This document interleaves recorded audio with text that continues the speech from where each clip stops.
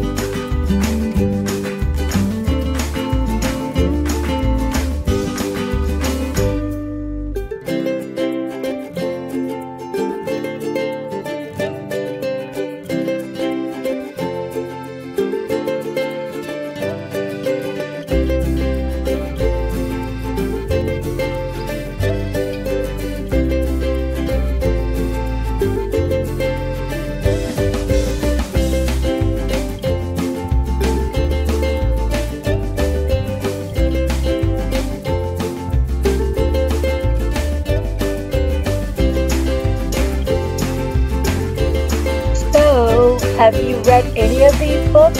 Any of these memoirs? Any of these biographies or autobiographies? And if not, which ones will you be checking out? Thanks for watching. And as usual, don't forget to subscribe to my channel and be sure to follow me. And don't forget to visit Kreyolicious.com.